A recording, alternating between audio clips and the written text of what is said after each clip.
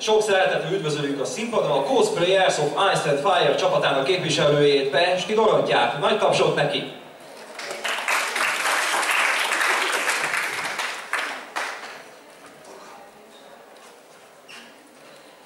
Sziasztok! Üdvözlök mindenkit itt a Tomakonon. Mint már elmondták, én a Cosplayers of Ice and Fire, a Magyar Trónok Harca Cosplay Club tagja vagyok, és egy igen érdekes és sokoldalú előadással készültem nektek. Ez pedig uh, Cersei Lannister királyné úgymond divat története. Mindjárt el is kezdeném. Uh, először is egy általános érdekességek a jelmezekről. A jelmeztervező Michel Clapton Részt vett még a tervezésbe egy hímzőművész is, ő Michel Keregel, valamint a fantasztikus fizurákat pedig Kevin Alexander készítette. A jelmezeket különböző létező kultúrákból inspirálódtak, és ezek általában tükrözik az adott karakternek a társadalmi hovatartozását, tehát minél díszesebb, minél részletesebben kidolgozott, valamint gyakran megjelennek az adott házaknak a címereit, például Marjorie Tiller ruháján látható egy rózsa is, valamint nyilván az éghajlati viszonyokat is tükrözik, ez leginkább a Stark jelmezeknél észlelhető a nagy köpenyek és a hímzett gallérok képében. És rá is térünk Cersei Lannisterre, mivel hogy ezek a ruhák gyakran ö, jól jellemzik a karaktereknek a fejlődését, változását is, de még mielőtt elkezdeném, ezért ö, kicsit hasznos Cersei Lannister háttér történetét kicsit ismernünk. Ö, Ebben a sorozatban, illetve könyvben ugye a, a társadalomra nagyban jellemző, hogy a nőket tárgyként kezelik. Egy nő annyit ér, amennyi a szépsége, meg hogy termékeny legyen. Igazából más lényegük nincsen, szavuk nincsen a dolgokban. Ezt a könyvben és a sorozatban is többször is elhangzik, vagy érzékelhető ez, ez a társadalmi helyzet. Ilyen például Frey esküvő is, amikor is a lányai közül kell választani egyet, és hát mindegyikük elég ronda, és a férfiak eléggé kétségbe vannak esve, hogy úristen, most mi lesz. Úgyhogy ebben a helyzetben is nagyon jól érzékeljük ezt. Cersei Lannister sem járt másképp, neki az apja amúgy is egy eléggé szigorú ember, és ő már fiatalabb korától kezdve látszott rajta, hogy ő azért nem egy egyszerű nő, egy, nem egy közönséges nő, ugyanis sokkal okosabb és rátermettebb, mint általában a nők ebben a korban, de az apjának hála ezt mindig elnyomták benne, és hát ilyen háttérkörülmények között nem is nagyon meglepő, hogy egy ilyen emberből egy nagyon hatalomorientált és magasra törő személyiség lesz. A, először Cersei Lannisterrel akkor találkozunk, mikor a királlyal Delesbe érkeznek. Az itt látható ruhái ehhez a, ezekhez a viszonyokhoz alkalmazkodnak, ugyanis ö, szörmével díszített és vastag, meleg ruhákat látunk rajta. És a második képen látjuk ezt a virágos köpennyel kiegészített kék ruhát, ez akkor kap nagy szerepet, amikor Caitlin Stark fia Bran már kómában van, és a királyné meglátogatja, és ezzel a ruhával, plusz még az egyszerű hajviselettel, ezzel az egyszerű és kedves modorral próbálja őt a támogatásáról biztosítani, és hogyha ismerjük a sorozatot, akkor tudjuk, hogy ezzel azért el akarja altatni az anyának a gyanúját, hogy esetleg valami köze lehetett a dologhoz.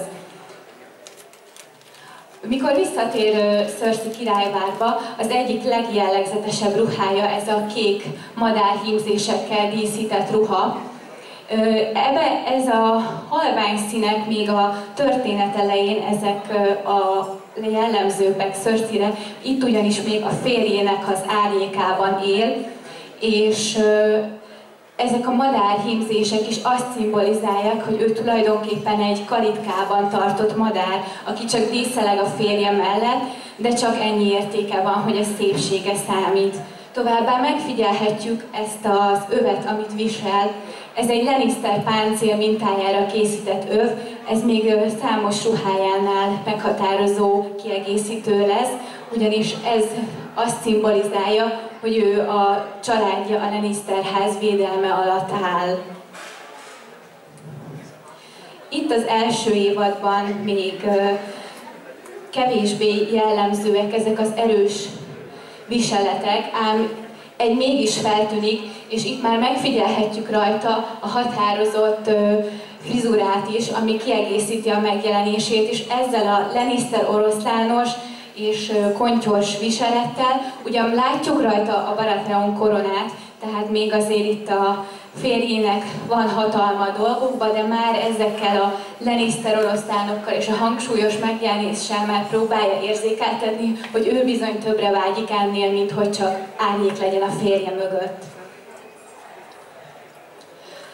Az év első évadnak a végén történik az az eset, hogy Robert király meghal, és rögtön látjuk cersei nem csak a viselkedésén, de a ruhatárán is, hogy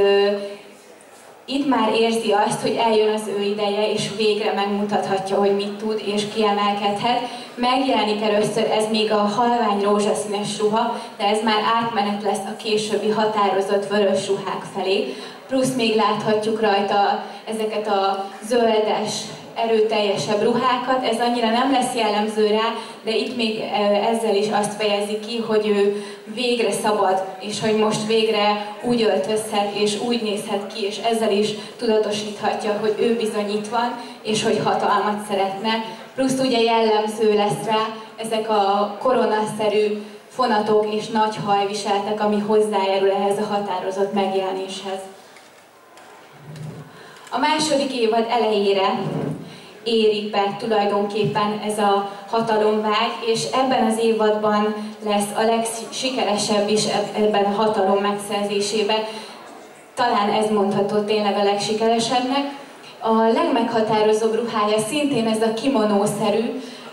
vörös ruha,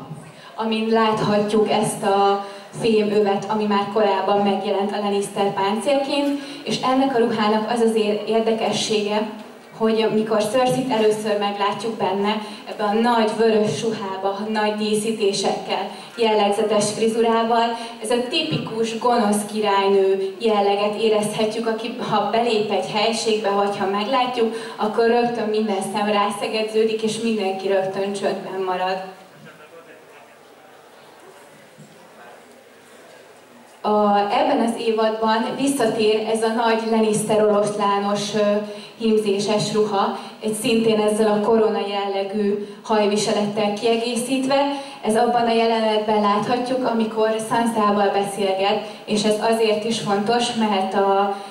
Sansa ebben a jelenetben kék ruhát visel, a sorozatban gyakran megjelenik ez az ellentét, a kék-vörösnek az ellentéte, és itt is ezt látjuk, és ezzel a nagyon erős Lannister oroszlános megjelenéssel is tulajdonképpen dominálni akar, és ezzel is a megjelenésével is értetni Sanszával, hogy itt neki nem nagyon lesz labdába rúgnia, nem nagyon fog tudni, mert hogy itt ő a főnök bármit is csinál, bár ami még érdekes, hogy az egész sorozatban Sansát többször kismadaramnak hívja, tehát annak ellenére, hogy nagyon határozottan próbál fölé kerekedni és elnyomni a lányt, ezért valamilyen szinten érezhetjük, hogy talán mégiscsak lát valami hasonlóságot magával. És az évad végére elérkezünk a fekete vízi csatához, és itt láthatjuk először Cersei ezt a gyönyörű virágokkal díszített páncélt, ami részben azt is szolgálja, hogy mivel csata van és ostrom alatt van a vár, ezért nyilván a védelmet is szolgálja, de tulajdonképpen ezekben a páncélos ruhákba teljesedik ki cersei az öltözködése, mert ezzel is sokkal határozottabb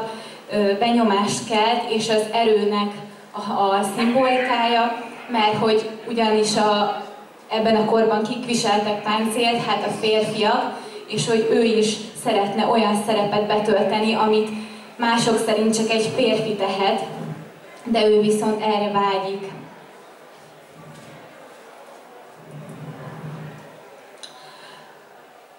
A harmadik évad elején jellemzőek még ezek a nagyon határozott vörös ruhák, és ez az Alexander McQueen által tervezett ruha, ez a kivágott nyakvonalú ruha, és ezt a formát azért láthatjuk nála először, mivel hogy Marjorie is ilyet viselt a második évadban, és ezzel is Marjorie felé szeretne azzal utalni, hogy mégis hasonlítja az öltözködését, de ő mégis egy sokkal határozottabb és erősebb megjelenés ebben a fajta ruhában, ezzel a vörös kiegészítéssel, plusz az arany hímzésekkel, és láthatjuk a nyakláncán is a Lannister oroszlánt, valamint a másik ruhán, ahol a páncél van a fűzőrészbe beleépítve, az is Lannister oroszlánokkal díszített, és ez, is a, ez a ruha is azért tesz jó szolgálatot, mert a férfiakkal való tárgyalások során viselte ezt a ruhát, ezzel is érezteti velük, hogy őt nem söpörhetik félre, mert ő is egy gyakorlatilag egy férfi szerepében szeretne itt lenni ebbe a tanácsba.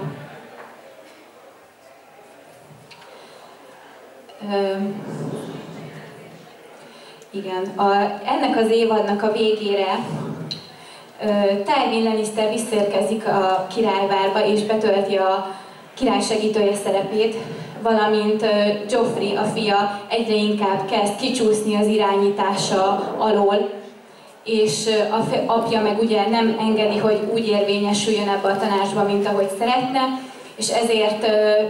egyre inkább tehetetlennek érzi magát, a már megszerzett hatalma is, mint hogyha kezdene szertefoszlani, és ezek az újra előtűnő, világosodó ruhák, ilyen eperszínű ruhákban nyilvánul meg, hogy ez a határozott vörös megjelenés, mint hogyha kezdene kifakulni azzal együtt, hogy ezt a hatalomvágyat is egyre kevésbé tudja elérni. És ez az évadzáró ruha, ami egy egyszerű, kis bordó tunika, ezen semmi díszítés nincs, semmi páncél, ez már gyakorlatilag teljesen azt jelképezi, hogy ő mintha már érezné, hogy el fogja veszíteni a hatalmat.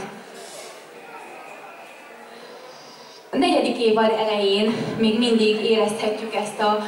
ezt a fakulást, és ez a ruha, amit látunk, ezt viseli Marjorie és Joffrey-nak az esküvőjén. Itt ugyan megjelenik ez a határozott, fonatos konty, az ékszerek és a határozott megjelenés, de a ruha fakul színével azért érezhetjük, hogy bármennyi szeretné Marjorie előtt azt mutatni, hogy ő még mindig az a királynő, akit, fél, akit félni kell, és akivel nem játszadozhat, azért már ő is érzi, meg mindenki érzi, hogy gyengül a hatalma. És ott alul láthatjuk a gyönyörű szép hímzéseket, ez általánosságban jellemző a trónok harca jelmezére, hogy nagyon részletes és gyönyörű hímzés munka van mindegyiken. Ennek az évadnak a végére, mikor a férj, fia meghal, innentől kezdve állandósulnak ezek a fekete gyászruhák, mert ezért Cersei Lannisterre rengeteg rossz tulajdonságot el tudunk mondani, de amit azért ki kell emelnünk, hogy a gyerekei mellett mindig teljes melszélességgel kiállt, nagyon ragaszkodott hozzájuk, nagyon szereti őket, és kitart mellettük bármilyenek is voltak, tehát ez a gyász, ez annyira, annyira mélyen érinti őt, és belesőped ebbe a gyászba, hogy az évad további részében is, még a következő évad elején is gyakorlatilag csak ezekbe a gyászruháknak a különböző változataiba láthatjuk őt és ezek is egyre inkább egyszerűbbek lesznek, mert ö, olyan is előfordul, hogy meghatározó eseményeken is ugyanazt a ruhát veszi fel, amit már máskor is láthattunk rajta, és ilyet azért a régi királynő nem csinált volna, mert neki nagyon fontos a megjelenés, hogy ezzel is mindenkivel tudatosítsa hogy ő mellette, ő rajta nem lehet csak úgy átlépni. De ebben az évadban már a frizurák is egyre egyszerűbbek, csak ez a leengedett haj, a Lannister övet se viseli, mint páncél, tehát tényleg egyre jobban belesüpped a bánatába, és egyre egyszerűbbek lesznek a jelmezek is. és az ötödik évad végére elérkeztünk, mikor Cersei Lannister börtönbe vetik, bármennyire is próbálkozik, annak ellenére, hogy már a hatalma jelentősen meggyengült, próbálkozik a tirellek ellen szövetkezni, de ez nem sikerül, és ráüt végül vissza, és börtönbe kerül. Itt a börtönben nagyon megalázzák, bár eleinte próbál még azért, próbálja tartani magát, de egyszerűen már olyan szintű megalázásokat kell elviselnie, hogy már egyre nehezebben tudja, és mikor kivezetik a nép elé az utcára, erre a szégyen sétára, akkor teljesen mesztelenre levetkőztetik, és levágják teljesen rövidre a haját ezzel tényleg mindenétől meg lett fosztva. Megfosztják a nőiességétől ezzel a rövid hajjal, és az egészben az talán a legszomorúbb, hogy ő egész életében ennek az áldozata volt, ennek a rendszernek, ahol a nőket ennyire elnyomják, és nem engedik őket érvényesülni, és végül mégiscsak olyan bűnökért alázzák meg, és büntetik, amit nagyon sok férfi büntetlenül elkövethetett.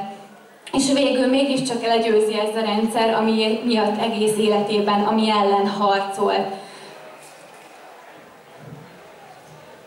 És ennek a szégyen sétának a végén érkezik vissza királyvárba, és bármikor fogadják, akkor beburkolják rögtön egy ilyen Lannister mintás, vörös színű köpönyeggel, ezzel azt szimbolizálva, hogy ő a családja védelme alá került újra, bár nem tudjuk, hogy ez a jövőben mennyire lesz elég.